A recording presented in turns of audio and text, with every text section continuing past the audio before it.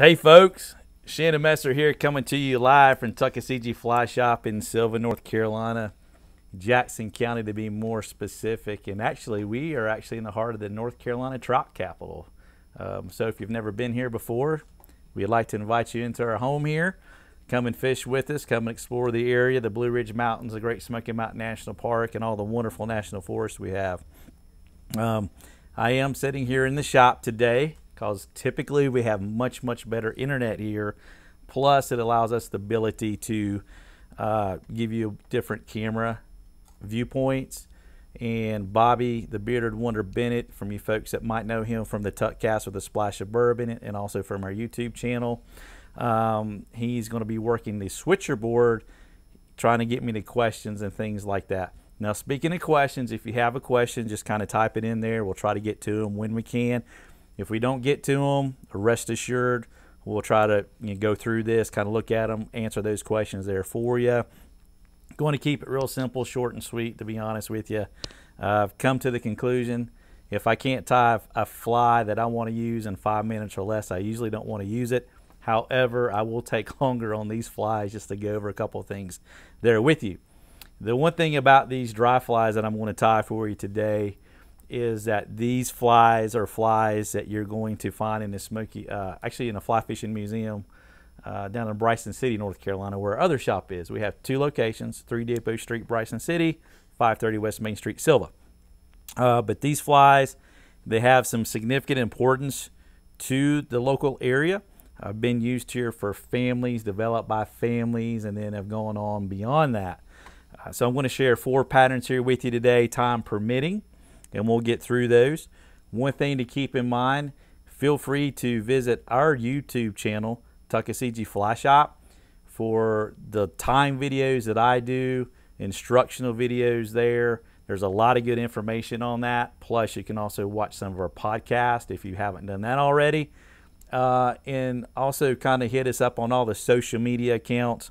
Um, that's uh, Facebook, Tuckaseegee Fly Shop, and at Tuck Fly Shop on Instagram, the gram there. So we try to keep everybody up in tune with what's going on there. Uh, we're just a bunch of good people here, just a small town, and we like to have some fun. So we are going to hop into the first pattern. Happy Father's Day to everybody. Hope everybody's doing good out there. Had a good, good day so far. And appreciate you guys letting me come into your home. So the fir first fly I'm going to tie for you today is not going to be the Charlie Whopper. Psych. Uh, that'll be fly number two. The first fly I'm going to tie for you is actually going to be the Adam variant. The Adam variant is a fly that came from Fred and Eileen Hall out of Bryson City, uh, developed back in the 1940s, and it is a great fly here, especially this time of year inside the Great Smoky Mountain National Park, especially the Deep Creek area outside of Bryson City. This fly, for me, has produced some wonderful fish, some really good topwater activity, some really good browns. It's a pretty fly. It's a fly that I tied, but I did not submit for the March Madness competition. So few folks have actually seen this fly, but I want to tie that up for you. So today I'm going to be tying this up here on an Orvis 1523 in a size 10. And I'm going to do 10 on these so it makes it bigger. It should be easier on the eyes uh, for you folks there. So I'm going to go ahead and take my hook and get that put in here in the Norvise. And I'm actually using the, uh, the Legacy version here with the uh, Magnum hubs. Now, the one thing about these Magnum hubs, man, you know, you get to spinning this guy here. These things will spin faster than the F-14 leaving the flight deck of the USS Dwight D. Eisenhower, and, and I knew about that specifically. So anyway, these things are pretty sweet. If you don't have any of the Magnum hubs, you should consider getting a set of those. So I've got my hook in the vise. I'm going to take my black thread. I'm using some Tenno Veevus. Feel free to use a type of thread that you like. That's the most important thing about that. So I've got in there like so, and I have taken my thread and broken it off. Um, if I can share with you folks one tip today, is I like to keep my scissors in the palm of my hands at all time. Surprisingly, I haven't poked myself yet, but I do have glasses on. Uh, but that's one thing. It's a little uncomfortable at first, but if you do want to tie flies a little bit quicker, if you get to where you can be comfortable keeping those scissors in the palm of your hands, that's going to be great. For the wings on this fly here, I'm going to be taking some of our uh, white feathers off of a off of a cape here, And what I've done is I've made some hackle, I've cut some hackle wings using the fingernail clippers. Now these are pretty fancy. These came from the Dollar Dollar Tree, as a matter of fact, for a buck. I got two sizes. I got a big pair, got a small pair, and I'm going to reference you folks back to our YouTube channel to where I did the mayfly wings, the cut mayfly wings. That's about a four minute video. If you want further instruction on that. But in the meantime, just to save time, I've already cut us up a real nicely matching pair of white wings here, okay? Now feel free if you want to, if you want to substitute calf body hair, you want a hair wing, certainly do that. That is not a problem. I'm a firm believer that you are in control of your flies. You are. This is their blank canvas. Now, if you noticed, as I walked my way down the hook shank there, I kept kind of building, uh, pulling up on those stems, and that actually allowed me to break those off. Now I'm going to take these wings, I'm going to stand them up. As you can see, I got a beautifully matched pair of wings right there. Put a few figure eight wraps in there like so. Boom, boom. Just like that. Beautiful. Super, super simple. And right there we have a set of wings. It's a great way to use some of those feathers that you that you might not have a use for. Um, it's a great way to do that and then just discard the rest. Now for the tail on this, we're going to use some golden pheasant tippet. Golden pheasant tippet you can get in a tippet just like this or you can go ahead and get the entire uh, head of the bird. Now we use this here and a gentleman was hitting me up there on uh, Facebook the other evening about the secret weapon nymph. Once again, that's actually a Fred and Hall pattern too. Uh, this crest material in here, don't know how well y'all can see that, but that right there is a great material on some of these nymphs around here. It works really well. So if you get the entire head of the bird, you got all these feathers plus some crest material. Or if you just want to tip it, we got that here as well. These can be found here at our shop, tuckaseegeeflyshop.com, tuckflyshop.com rather. So I want to take some of this golden pheasant tippet here. Everybody says a pencil width, and I never understood a pencil width. I could never estimate how wide a pencil was because you had carpenter pencils and you had number two pencils. And as Bobby and I were talking yesterday, we were talking about doing mechanical drafting, and Bobby was doing um, some landscape design plans. We were talking about the different pencils and the different leads. So I've taken me a bundle. I've tied that in, make sure that I got on top of the hook, and I've made some securing wraps with that golden pheasant tippet. It's great. It's got the orange and black. It's just a really, really good attractant. Okay. So now we're going to take a small hackle feather and we're going to take a grizzly and we're going to tie that in there in the back. You see, you take this little feather here and I'm going to take, I've already given it a haircut. I'm going to get that secured in right there right quick. And this is a heavily hackled fly that is meant to really ride, uh, you know, high up on the water we have here and take notice, hopefully catch the attention of those fish, and it certainly does. Now I'm going to be a brave man. I'm actually going to use my hackle pliers here just a second, and with the rotating feature of the Norvise, I want to make a few wraps in here in the back. Now I don't care how ugly this kind of gets back here. That's fine. That's that's not as important. We're just going to get this in here. Perfect. Close enough for horseshoes and hand grenades. Okay. Bring my thread back over. I'm going to capture that. Boom. Boom. Boom. Come in here like so. Capture. And cut that off. Trim it. Beautiful. Hope everybody can hear okay and everybody's seeing this all right. Looks pretty good on our end, I think. Uh, we are getting some thunder here. Everybody's got doing good, hopefully. Clean it up just a smidge. All right. So the next material I'm going to use is going to be some yellow ostrich herl. And this is a flume of an ostrich. Maybe y'all can see that. Kind of looks like Big Bird from Sesame Street. If you can still watch Big Bird on Sesame Street if it doesn't offend nobody. So we'll use some of that. Now this stuff is pretty brittle. It is very, very brittle, as you can see, but it's, it's awesome. It makes a really great uh, little highlight here in the center of this fly. I think the storm's got to set. Uh-oh. We do have a storm. Hopefully it's showing up okay. It's freezing up a little bit. Uh-oh. But it's not. Okay. Let us know, folks. Comment there. Give thumbs up, thumbs down, whatever y'all are observing so we have some feedback. Okay, perfect. I've got that tied in there right quick. Now I'm going to take this ostrich herl here. I like to tighten up the uh, the tension screw on the vise and I'm just going to wrap it just like this making that bot part of that body right in there see that it's real pretty okay go a few more wraps right there I want to bring my thread back over capture that you can certainly substitute out different colors uh, on this here but yellow is certainly the main color on this particular pattern and it's my favorite one to fish just going to discard that there right quick Beautiful. All right.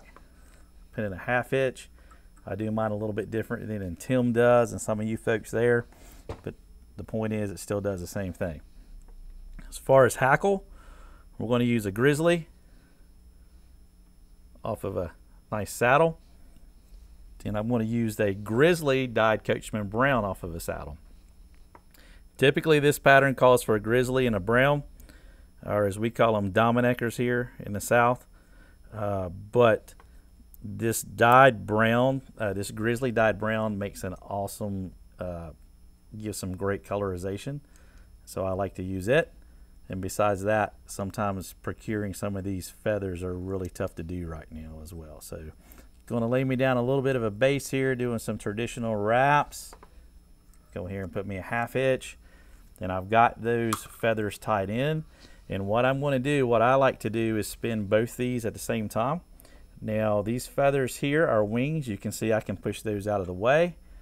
Now with good tension on the rotation feature of the vise, I'm just going to use my finger and just wrap this bad boy up. Now I want to get here, I want to pull my wings back.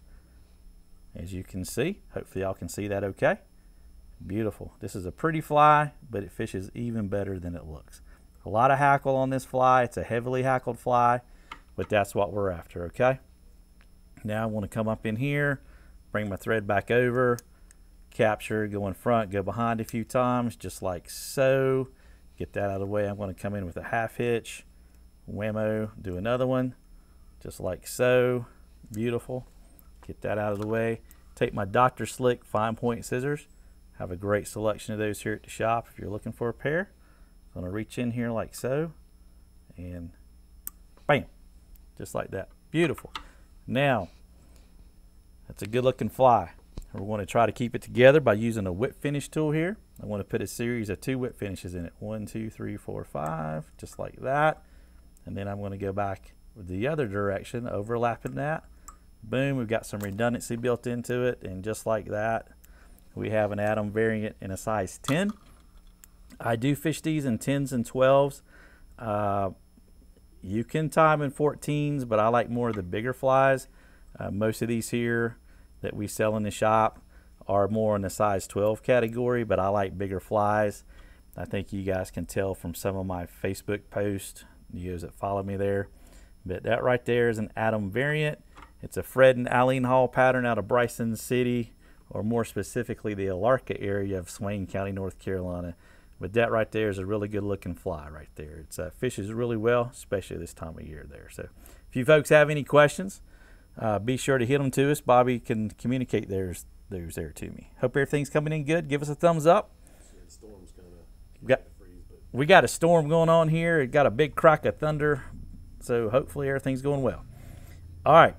So we're going to step into the next pattern, which is actually going to be the Charlie Whopper. Um, going to tie it on a size 10 as well. And this fly is actually one of our family flies. Uh, my oldest son is named after this gentleman here who uh, spent a lot of time with me in Panther Creek uh, working on old uh, fly patterns, teaching me a lot, making me write a lot of notes, but it was well worth it. And this is a fly that Charlie Bear came up with that is a really good fish producer here. I like to tie them in 10s and 12s. I like to fish them in 10s and 12s primarily. Uh, 14s, uh, you're getting a little small for this particular fly.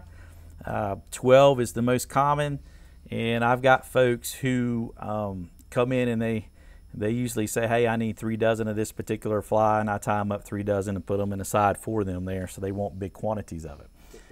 Yeah, man, shoot. Uh, Norvise is asking, what to So that's a, awesome. Oh, that's that's perfect, man. Thanks for asking that question. So there's many floatings out there on the market today. Um, ones that there's a few that I like. Uh, the high and dry floatants.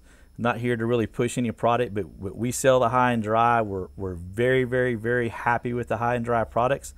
On this particular fly here and on most of mine, I actually use the liquid. So after I tie this to the tippet, I just dip it down into the liquid and then go to go fishing with it for the most part.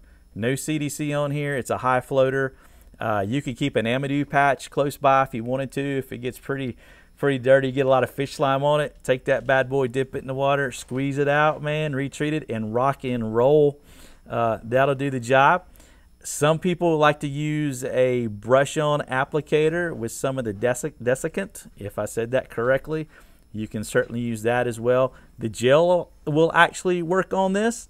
And then also the desiccant in the shake tube will also work that way too. So this is a fly that you can use various floatants and it will do the job for you. Okay, great question. Great questions. Slap me silly for not mentioning it earlier. So there we go. Uh, really, all these flies I'm going to tie, you can use any of those there, but certainly on CDC, you have to be careful because you can mat down those feathers and you lose the ability of those feathers to trap the air, which gives them the flotation of it there. So hopefully that that uh, that answers that for you. You may be as clear as mud right now. So if that's the case, then I apologize for that. Super.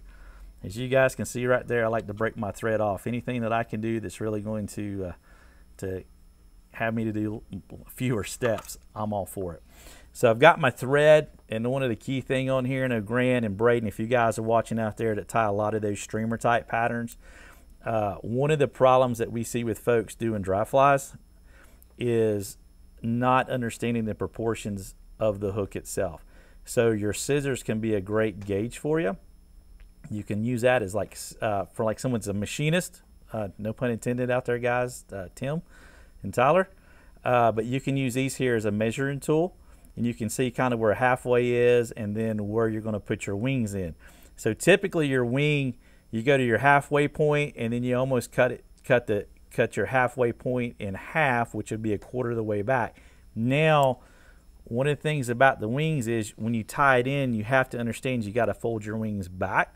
So if you get too far forward up here, you're really going to crowd the eye of the hook. So if you do err on the side of caution, start with them a little bit further back until you get confident uh, to where you need to place your wings. Okay, just a little tip there for you. When I'm helping folks for the that are getting into tying, that's one of the things that I'll tell you. And then ugly flies catch fish, as you guys probably know about that too. Um, we're going to use some bronze mallard. Um, got some bronze mallard here. Got this right here. Love the bronze mallard. It is a great, great material to tie with. Uh, wood duck flank, things like that. Um, if you've tied with those, I just like tying with, with these types of feathers. Now I am going to take and strip off uh, some of this fluff on the bottom here. And this is just a super, super large feather, which I love. And I also like the fact that we got the darker feathers here too, okay? Um, so cool, cool, cool. Now I'm just gonna grab me a bundle here. This is kind of where I deviate from Charlie Bear a little bit, but we do have better quality feathers. Where there typically we had smaller feathers, we had to use two feathers to get our wings. Here there's enough fibers on these and just big feathers that I only need to use one. And most of the time, one feather this side size is going to get me through the particular fly. So, uh, but you can ad- adjust that, line up your tips, and you kind of pull them off the stem so you get those guys. They're large, so I'm just going to take and flip them. And I want the tips of the wings to be facing toward the eye of the hook. Okay, that's important. I'm right handed.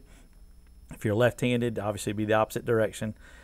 And as far as the wing height, you can measure at the shank of the hook. I tend to go just a little bit air on the side of caution, being a little taller. I'm going to give my bobbin a counterclockwise twist, which is going to cause my thread to jump backwards like that. Where if it would have been spinning the other direction, it's going to cause it to jump forward. Okay. So once again, there's another tip um, for you there. I'm Going to reach in there and get that pinched. I want to look at it. How does that look? Looks pretty cool to me. I want to make some securing wraps right quick. And I want to take my scissors. I'm going to lift up the butt section, come in at an angle, and cut down like that. Now I'm just going to go ahead while I have this here in my hand. I'm going to secure that. And um, this is a, one of the things I do on the Norvise.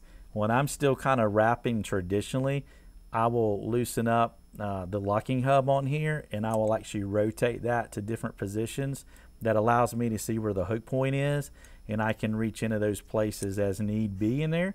So if you've not done that before, that might be something you might want to try.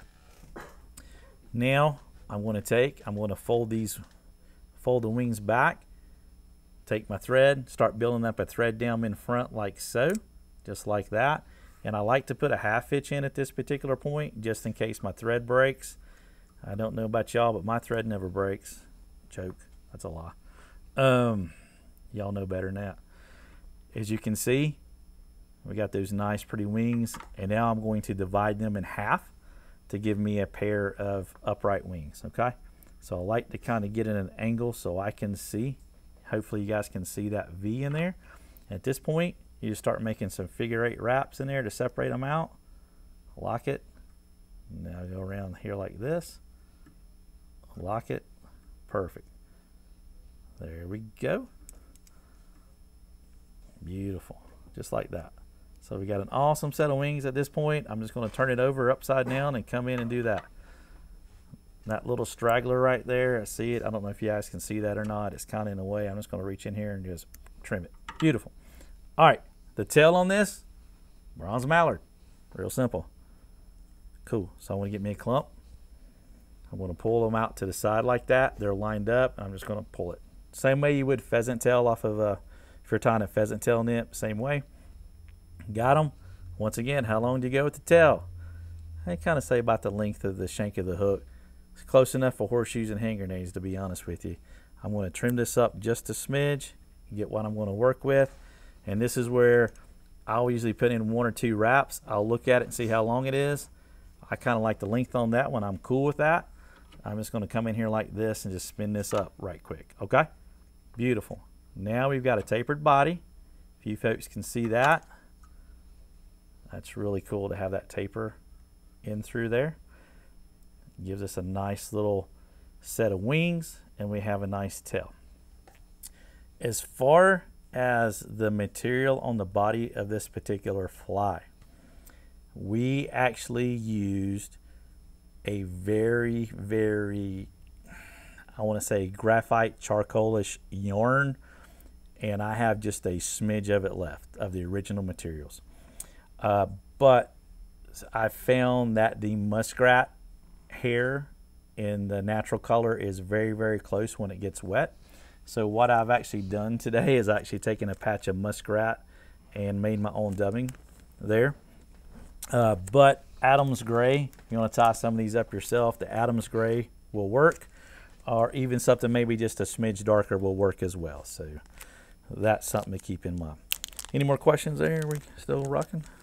Cool beans. Good deal. All right, so I'm just going to take this here. There's a few guard hairs in there. That does not scare me, to be honest with you, okay? I left those in there. I didn't get too picky. Now, I'm just going to go through this dubbing and kind of mess with it just a smidge in here. Now, as you know, on the Norvise, you can come in here and you can spin your dubbing on. But for this particular material, I like to just do it more the traditional way. And that's the great thing about fly tying. You can do it many, many different ways. But I want to kind of get a feel. I want to build my taper up but with this fur like this, uh, especially when I'm working back here in this back section, I can control how thick I want to go with it. And I'm going to put it on a little thick. Um, typically on your dry flies, uh, you want to have a thin dubbing noodle, but I'm going to go a little thicker on this. This is a fly that we went, you know, just a little, just, just go thick with it. It ain't going to hurt it. It's going to get eaten up anyway. We're going to start with that there. Hopefully y'all can see that. I'm going to make a few wraps here, get that started, start coming up. I'm going to loosen up my vise and I'm just going to spin it up like so. And right there's our body. Like I said, I like to have mine personally a little big. Um, that's just me. That's just the way we tied it. Certainly, if you want a thinner body, you can do so. The fly time police should not come behind you and really start to call you out on it. Now, where this fly differs from maybe an Adams pattern, uh, male Adam, female Adam, uh, like Cahill, any of your mayflies with the upright wing, is we actually have a wing that's going to go down over the back of the fly. And I really kind of feel like that's one of the keys to the success of this particular fly is it gives you a couple of different looks. All right. So I want to take me a clump of the bronze mallard once again. And I got to be honest with you, I have some that are just the biggest, ugliest thing, and I have some that that they're a little bit, you know, neater and a little bit smaller. But I typically find that sometimes the bigger, ugly ones do fish better. I think it creates a little bit better silhouette on the water, and that's what the fish are looking for. So here we have a pretty good population of, uh, of mayflies, caddisflies, and some stoneflies. But once this wing kind of goes in over the back when it's on the water, it can really imitate three different patterns or bug classifications if you really think of it in the adult life cycle. Um, I also tie this in purple, um, in, but I use more of that uh, golden uh, color wing and stuff on it uh, there, and that's really one of our, another one of our good sellers at the shop. Um, there. It works really well on our, our wild fish, and it works. This fly will work here, and it will work out in Montana and Wyoming as well. It's actually worked in California, too. So, Couple questions. yeah, man, shoot. I'm, Uh, do you like natural or synthetic dubbing better than one or the other? you know, uh, it really depends on the fly pattern. It really depends on the pattern. I was pretty much raised up on more of um, naturals, um, hares dubbing, um, muskrat, uh, hare's mask, uh, squirrel, things like that. However, I feel like one of the biggest changes in the fly fishing industry has come in fly tying. It's been synthetic materials. We have some pretty, pretty awesome stuff out there in the market, which gives a really good look on the water. The one thing I will caution you though is, you know, you guys that do a lot of these streamers and stuff, and it's real intriguing to me. For us, I have to do what they call a color fast test. Just because this is this color here right now, when it's wet, it's going to take on an entirely different color. So if you're looking for a specific color and you're trying a synthetic over a natural, you probably want to keep you like a cup and after you tie it, wet it to see what it looks like. The other factor that can affect that is going to be the color of thread you use. If I want to fly that I want the body to be a smidge brighter, then using a white thread, and I stress a white thread, and taking a Sharpie and coloring the thread up here at the head when you're done will help you tremendously. So if I take some, um, let's say that I'm using some, um, if I'm doing something in white, let's say I'm trying to trying to uh, tie a coffin fly, and we're just going to pretend like this poly here for a second is some white dubbing.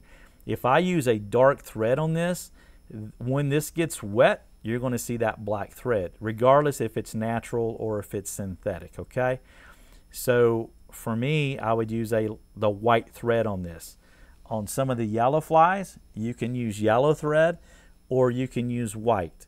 Um, the orange snipe video that's up on our uh, YouTube channel right now that some of y'all have seen, uh, that is one there that um, if you you can use a dark thread if you do a thicker body and when it gets wet it looks kind of a little veiny or if you want it to be brighter use the white thread it's going to give you a little bit br- brighter body and that's a synthetic material so great question i appreciate that and uh, And then we got uh, since the, while the storm was rolling through, Yeah. um, got somebody asking for you to give the history of the fly again. It was skipping through. Okay cool cool that would be the adam variant that particular if are we talking about the adam variant I'll give them both. One Okay, I'll give you both.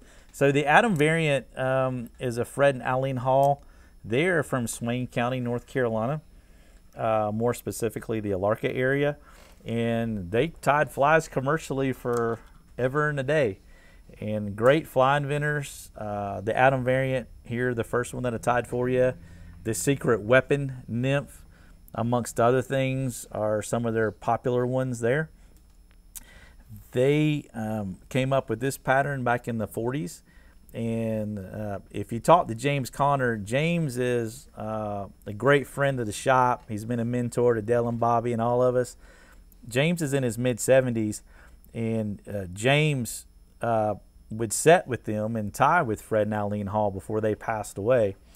Um, there, and this is one of the one of the flies that they tied in, in abundance because it was such a great producer here. Once you leave the region, you really never see this fly, or at least I haven't um, there. But I'm sure it would work in other places.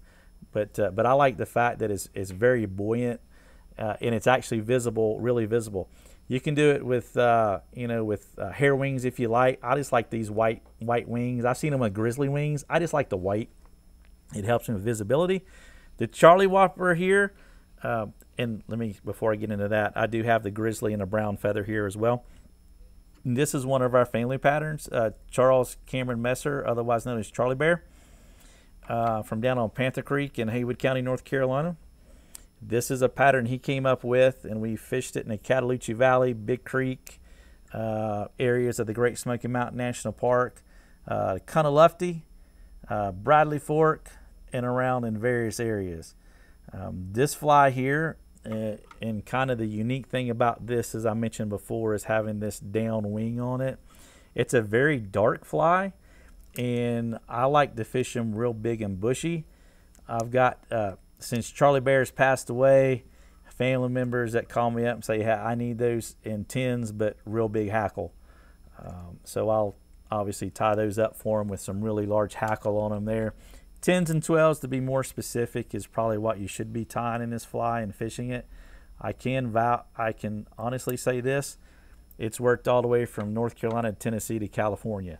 It's taken fish, um, and it's it's a real good uh, fly. It is dark, I will tell you that. It casts a really dark silhouette. Depending on what type of optics you're using, it may be a smidge difficult to see. Uh, but as far as the floatant, let's kind of hit that as well. Last question. Um, you can use all the ones I mentioned before. You could use a liquid, you could use a gel, you could use a brush applicator, or you could use one of the, the shaking desiccant type ones as well. Do series of two whip finishes on that in there. Come in like this, build in some redundancy because this fly will get eaten. I'll tell you that, okay? And so that right there is the Charlie Whopper. Uh, one of one of our favorite flies to fish, and honestly, it's one that people come in the shop asking for um, from other areas there. But that's the Charlie Whopper, right there in the size 10. Probably my favorite size to fish. Good deal. So there's that one there. Hope you guys can see that. Hope you guys like that particular fly. Hope it looks pretty cool. There's actually a video up on our YouTube channel uh, where I tie this particular fly as well if you want any further instructions. And with that being said, these particular flies, um, you will be able to see them uh, on the YouTube channel as well, and as well as probably the Norvise channel uh, next week or so. So good. Perfect. So I'm going to switch thread colors because I'm going to do two other particular patterns and see where we go from there. Any more questions? Golden. Perfect. Beautiful. Hope everybody's had a good day out there. Get a little bit of drink here. Ah, beautiful. So the next fly, awesome. So the next fly I'm going to tie for you is going to be the yellow palmer. The palmer is another popular fly here in the mountains of western North Carolina. A little bit of uh, you kind of hear it came from the Palmer family, and or it's, it's, referencing it was the way that the hackle is wrapped on this one. What I can tell you is the fish don't really care. The fish like this particular fly. You can tie it in yellow, olive, orange, green to really imitate a like a little green stone is a great color um, there. So those are your most common colors. However, I got a guy that was asking about some in red uh, yesterday. So I got to tie him up some there in red. So I told him I'd do that for him. Once again, I'm to get my thread started on the hook. Bam, break that off. And get me a little bit of a thread base laid down on this particular fly here right quick. Spin a Rooney. Go back to the back. Now, I've got to do some uh, tailing fibers on this one here. Excuse me. And for that, we're going to use a kind of your brown color here. And we're going to use Grizzly. All right.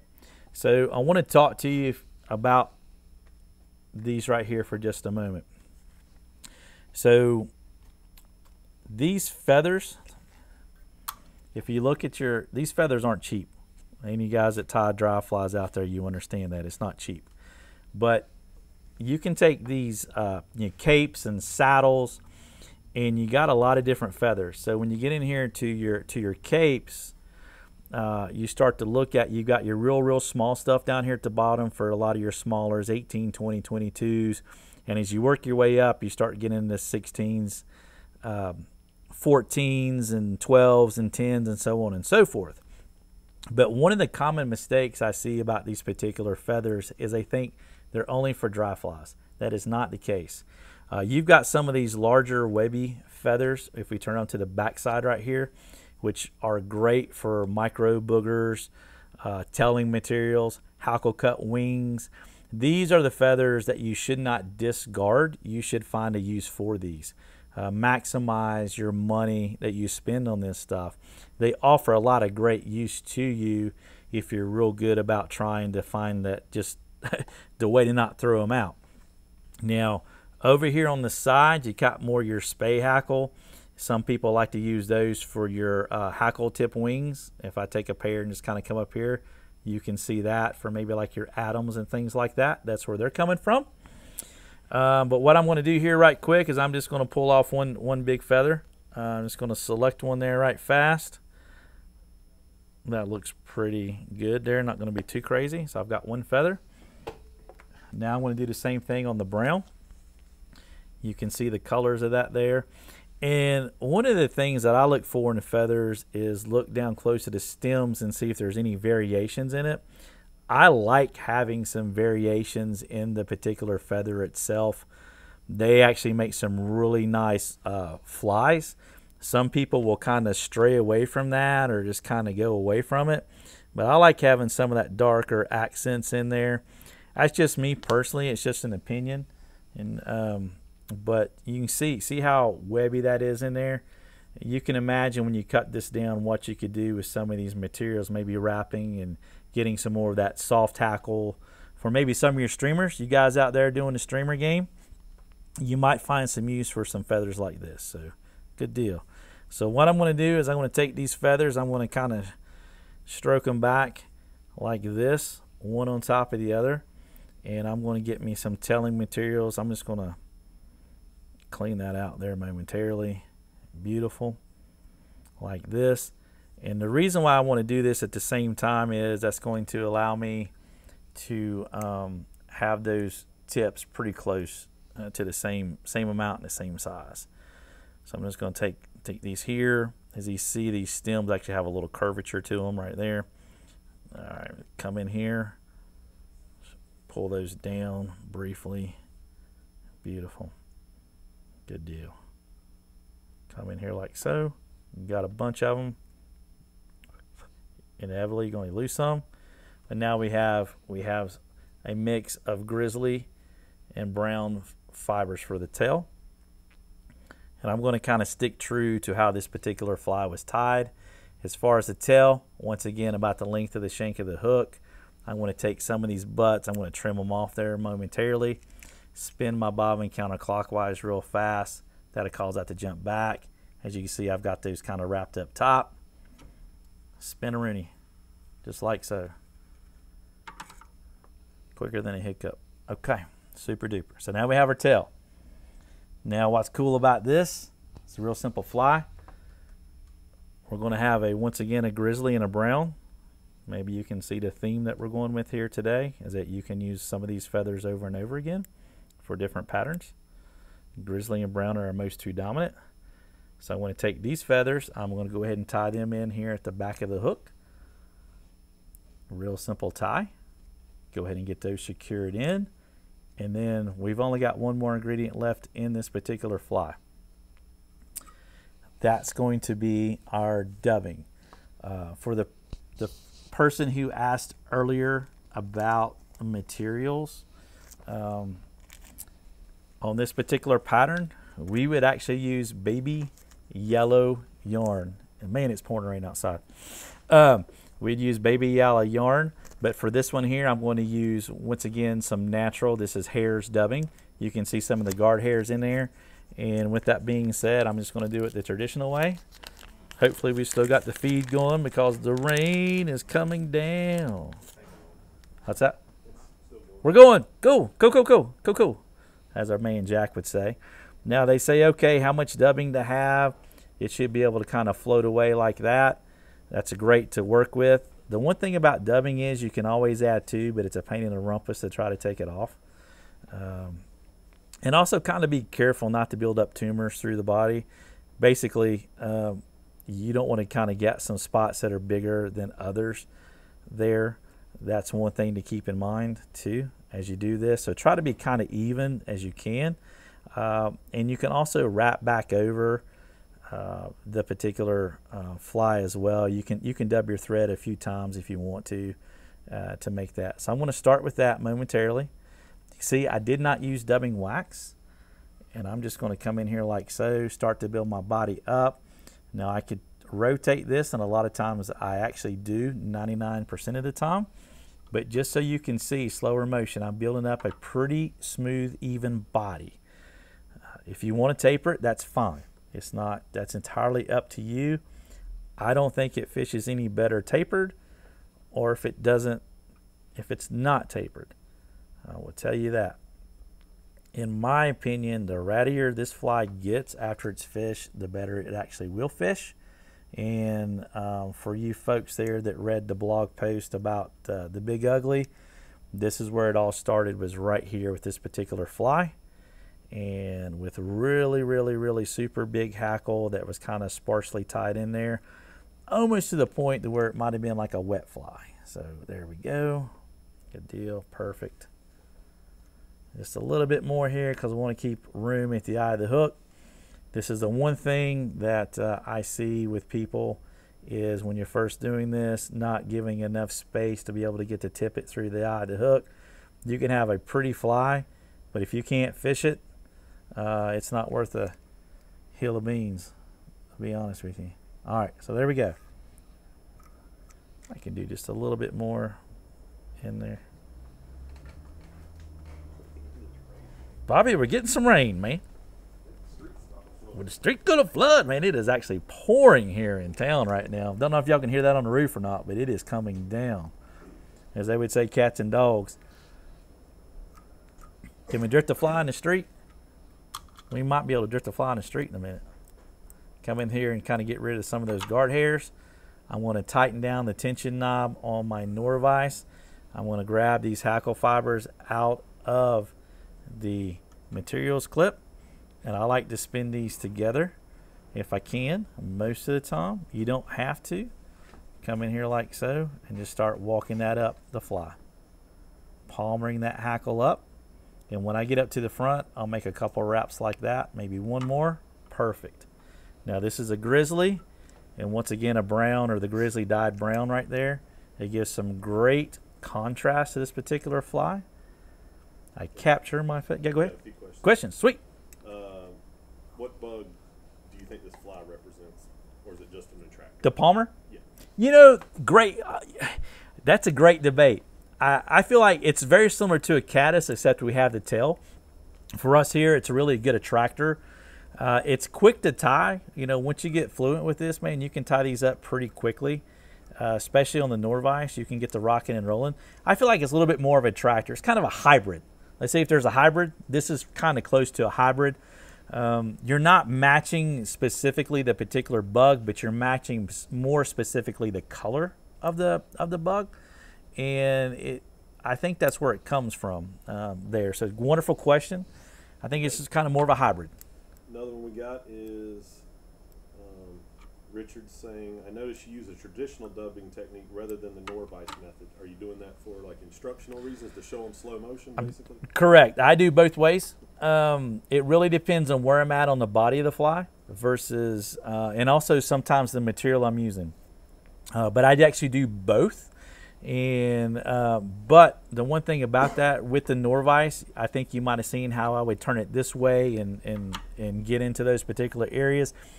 I, I use the Norvise maybe a little bit differently than some others, but that's how I like to use it. Uh, you know, spinning some of your naturals versus your synthetics, they will actually attach to the thread a little bit differently when you're spinning, and you'll get a little bit different variation in that. Uh, but for today, and just taking my time, and anybody who may not be tying a Norvise that may want to start tying a Norvise, this is a great way to really get started on it. Great question. And then uh, Daniel wants to know what type of dubbing is that on that fly? This one here, this here is actually natural hare's dubbing that's been dyed. It's a pale yellow uh, on that right there. So I mentioned earlier a lot of naturals on our Adams. We would use this in an Adams gray. Uh, the Thunderhead, you know, a little bit more of a darker. Another great fly, which you can find on our YouTube channel as well. I'm going to come in here, do two whip finishes.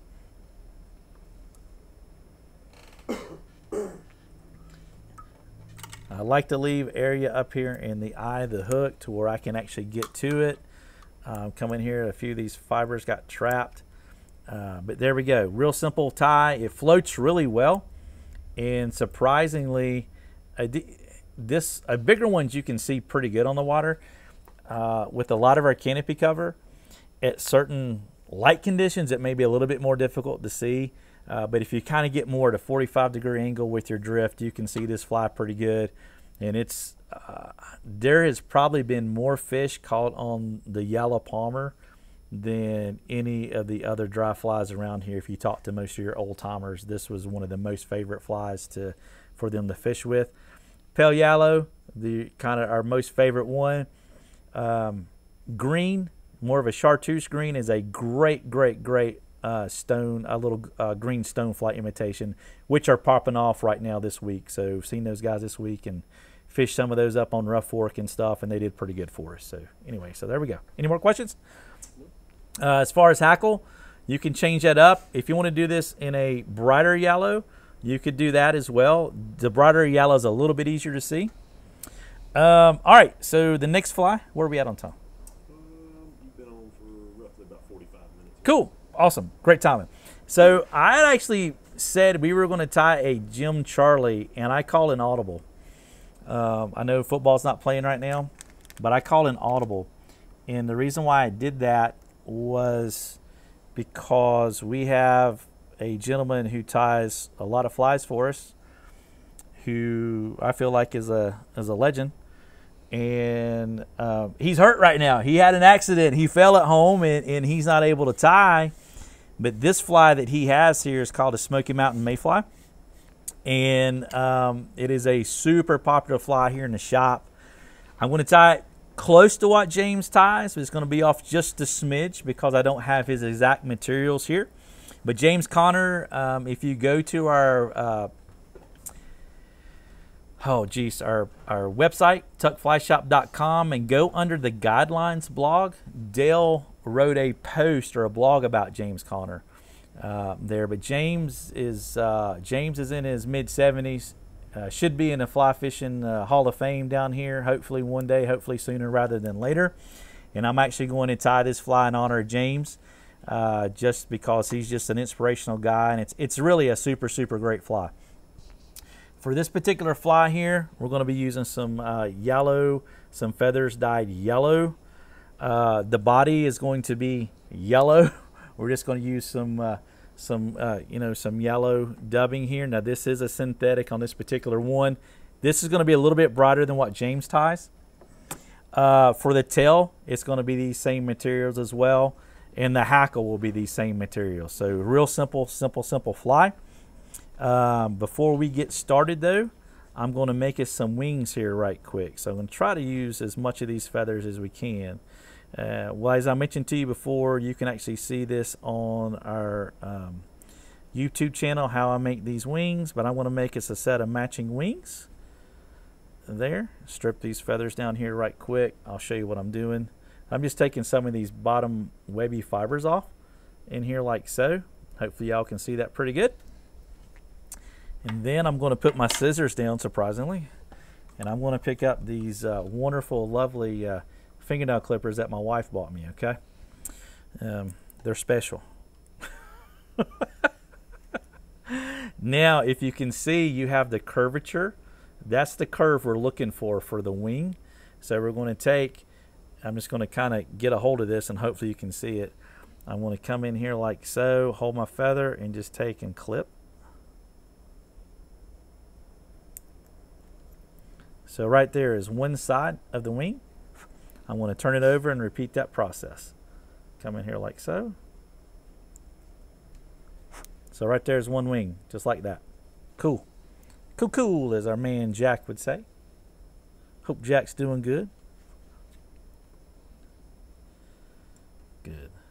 Cool beans. Any more questions? No, but we got somebody from Chile and Australia. Chile, Australia. Very nice. Also, the uh, Project Waters from Knoxville gave a shout out. Cool beans, man.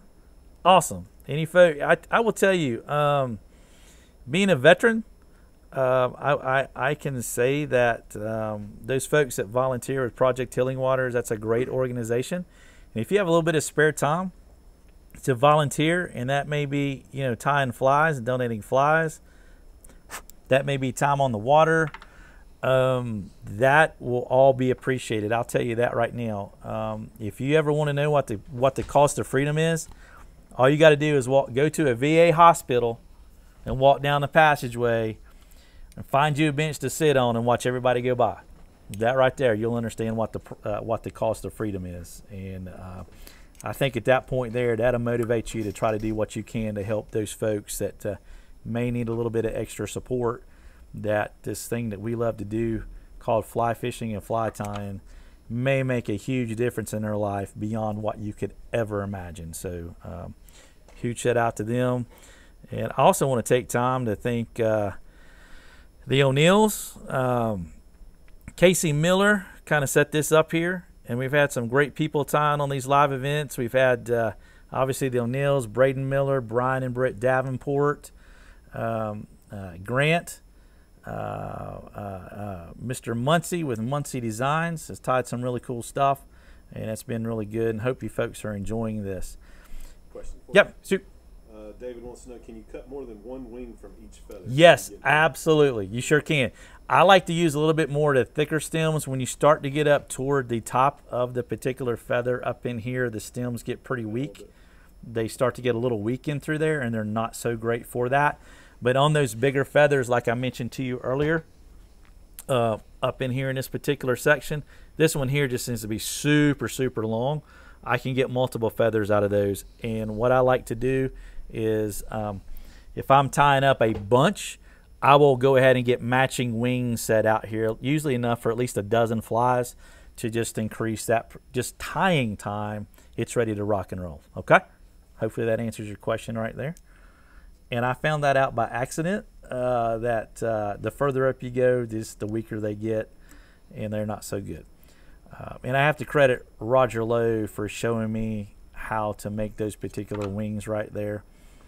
Um, I'm just sharing that knowledge that was passed on to me. All right, so I'm going to take these here because the stems are a little stiffer.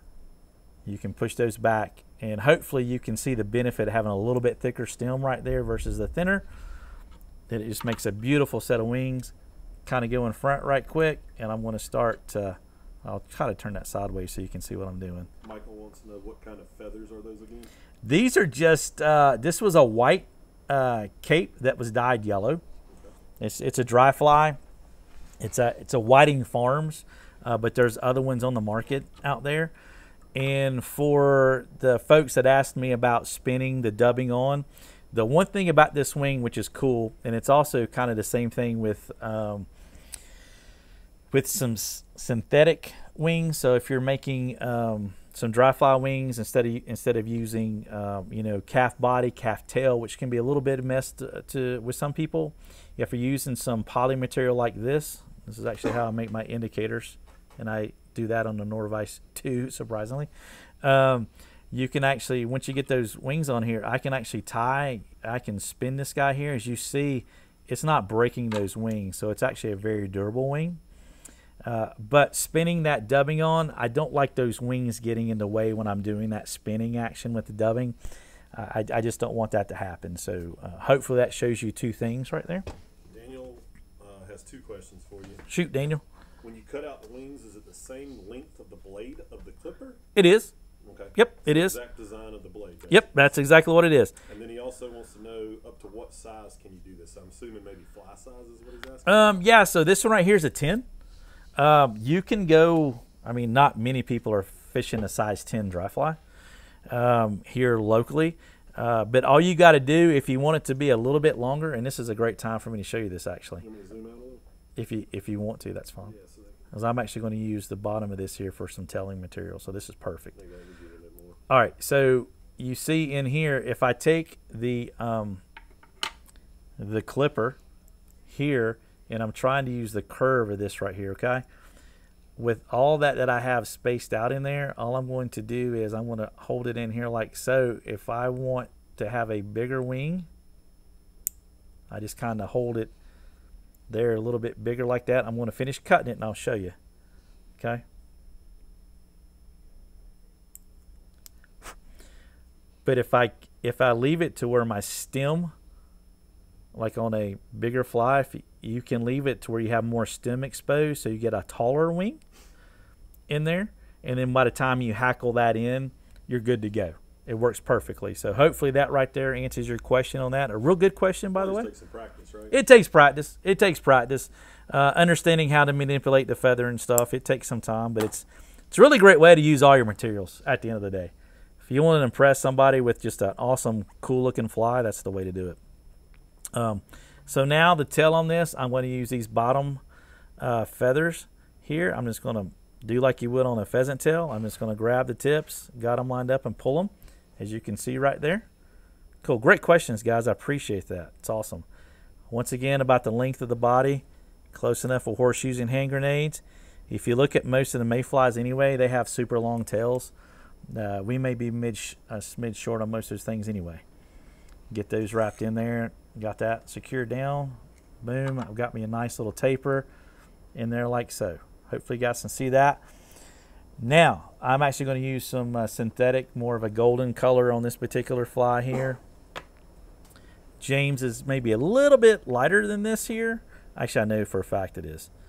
Um, I know for a fact it is. But I'm just going to kind of get this. These fibers are just a smidge longer.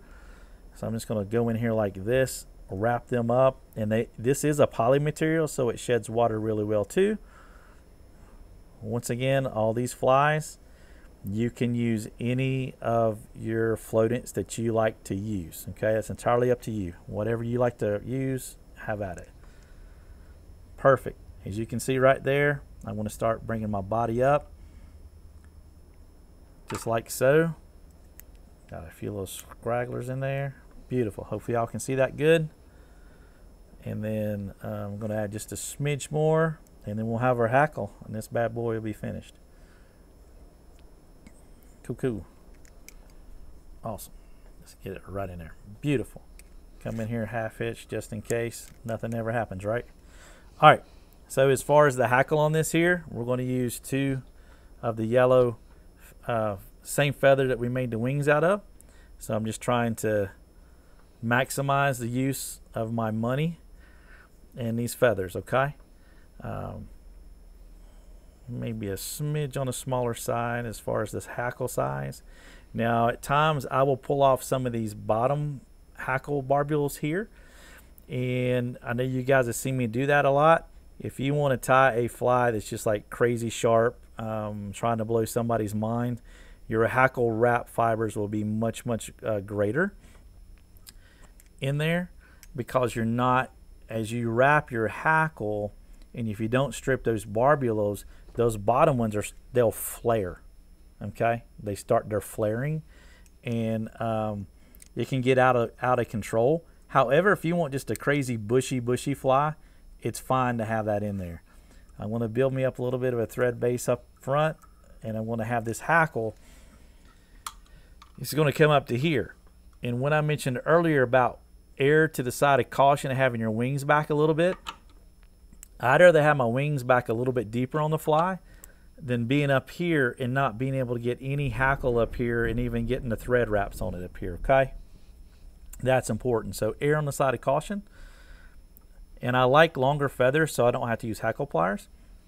So I'm going to grab both those. I want to get them started. I want to push those wings out of the way. Another reason why I like those, I want to start just rotating my vise. If you only buy this vise for two things, number one, the automatic bobbin, and then number two, wrapping materials on like this right here, it pays, will pay dividends over and over and over and over again. All right. Is, is there a uh, ever a need to use a dubbing loop on dry flies? You can. That's entirely up to you. I use a lot of dubbing loops actually on nymphs, uh, but you can do that if you want to. That's entirely up to you and the technique and the style you like to tie with there. Yeah. And have you ever used this fly on uh, bluegill? I'm sure bluegill eat everything. Uh, or brim. I, guess, I have not. on where you live. I have not. It's a funny story that you asked that right there, honestly. Um, and I'll, I'll tell you, I'm always full of stories. Um, talking about brim and bluegill, I got a friend that lives down in Gainesville, Georgia, by the name of Tim Ivy. And Tim was a real good fly tire. And Tim brought up a bunch of flies to me, and he gave me a woolly booger that had an olive tail, a silver bead, and a blue Estaz body. And he left me about three or four of them. And I carried that thing in my pack for quite some time, but I was up Straight Fork one day. I had fished back up to my vehicle, and there was probably about a 15 to 20 foot deep plunge pool. And I could see, I could see the trout at the bottom of the pool. I got some up top, but man, there was some like larger fish that we typically don't necessarily see all the time in the Smokies. And I'm like, I looked at this thing, and I'm like, you know, I'm either going to scare them to death, I'm going to catch something. And I pulled out that uh, that fly, that woolly booger, and I put it on. And four split shot later, I kid you not, when it got to the bottom, there was three rainbows that went and grabbed it, went grabbed for it. I got one. I actually got on a GoPro camera. Caught it, one of the biggest rainbows I caught in the national park, which blows the theory that it has to match the hatch for it to catch fish. Okay, so I'm talking to Tim, and I said, "Hey Tim, man, I caught some trout. I caught some trout on that thing." He said, "Try out," and he said, "You got to know Tim in Georgia. Try out. That thing's for bluegill, you know." So there you go. So if a bluegill pattern to catch trout, I'm sure a trout pattern to catch bluegill. Uh, but this right here is my variation of the Smoky Mountain Mayfly, which is uh, made popular by James Conner. He actually invented the pattern. We have a lot of yellow bugs here. So if you come to fish with us in the summer months and you come in and say, hey, what flies do we want to use? We're going to direct you to some yellow body flies such as the, the Jim Charley, the Smoky Mountain Mayfly, uh, yellow palmers, things like that, and, and then some more of the other stuff. So yellow is key here and hopefully this is something that you'll try to tie and you can obviously vary the colors. It ain't, a whole lot to this particular fly so hopefully you guys can see that okay and definitely shout out to james conner man and uh, he, he's a he's a legend and hopefully he'll be uh, recognized in the uh, fly fishing museum uh, rather sooner rather than later for sure so uh, hopefully you folks enjoy that right there. Any more questions on that? Yes that's perfect. So uh, i don't know what time is it there you're right at an hour. Cool, cool beans. So we'll hang on here for a few minutes in case we get any more questions. Uh, happy Father's Day to everybody. Uh, thanks for allowing me to come into your home and tie up some flies there for you. I appreciate the O'Neills and, as I mentioned, Miss Miller, who kind of set the links up for this today. I think she's doing a lot of stuff behind the scenes. I appreciate all the other ambassadors that's tied. And uh, definitely, if you have any questions, you can email me at shannon at tuckflyshop.com. S H A N N O N at tuckflyshop.com. You can follow me on Instagram. It's at Appalachian underscore flies, and Appalachian is A P P A L A C H I A N underscore and then F L I E S. You can follow me there. I put a lot of the pics up of the of the uh, flies that I tie. Uh, follow the shop. You can follow us on Facebook at Tuckaseegee Fly Shop. You can follow us us on YouTube at uh, at Tuck Fly Shop, I believe, and then Instagram's at Tuckaseegee Fly Shop as well. tuckflyshop.com is always open. So if you have you need to purchase any materials or anything like that, you can look us up there. And subscribe to our YouTube channel if you would. We'd really appreciate that. And share with your friends because we we're just regular folks like everybody else. Like to have a good time and hopefully put out some good educational content. So uh, there we go. So with that being said, we've got no more questions. Hopefully this showed up okay. I will try to answer these questions as, as soon as I can if I didn't get to it. If you have any comments, certainly hit them up. I am leaving on an airplane early in the morning and won't be back till Sunday. But in between there, I'll try to do what I can for you folks. So once again, thanks for watching. Appreciate Bobby the Bearded Wonder Bennett. Listen to the Tuckcast of the Splash of Bourbon and all of your favorite podcasting platforms. We'll catch you next time. Take care.